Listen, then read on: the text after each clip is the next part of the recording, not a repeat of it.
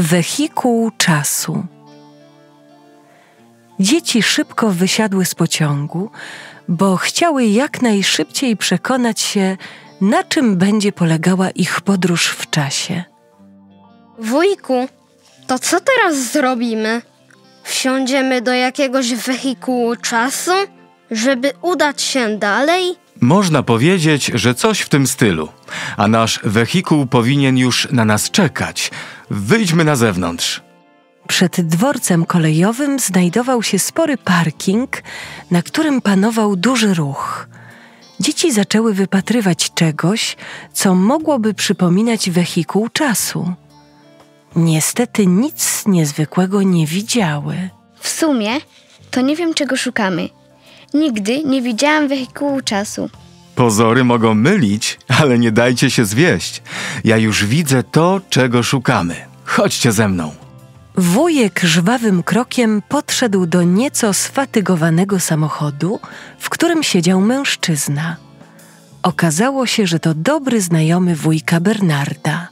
To nasz wehikuł czasu, a to jego właściciel i nasz kierowca. Przedstawiam wam mojego brata, ojca Andrzeja. A teraz zapraszam was do środka na dalszą podróż w czasie. Dzieci były trochę zdziwione. Nie tak wyobrażały sobie wycieczkę w czasie. Nie traciły jednak nadziei, że rozwój sytuacji może je jeszcze zaskoczyć. Wujku, czegoś tu nie rozumiem. Nie wiedziałam, że masz jeszcze jednego brata oprócz naszego taty. Nigdy nikt nam o tym nie wspomniał. I dlaczego przedstawiłeś nam kierowcę jako brata i powiedziałeś, że jest on ojcem Andrzejem? Jesteś bardzo spostrzegawcza, Agatko. Ojciec Andrzej jest księdzem, ale również zakonnikiem. W zakonie mamy taką zasadę, że wszyscy nazywamy się braćmi i zwracamy się tak do siebie.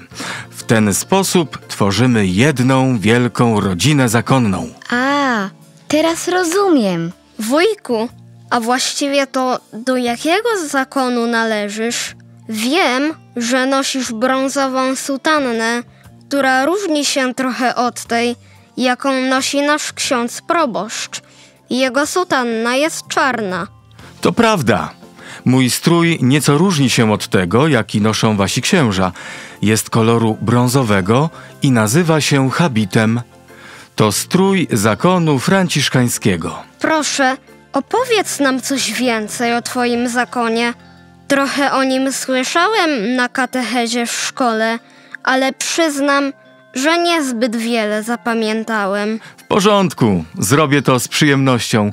Żeby niczego nie pominąć, musimy cofnąć się bardzo, bardzo dawno do czasów, których nie pamiętają nawet najstarsi górale.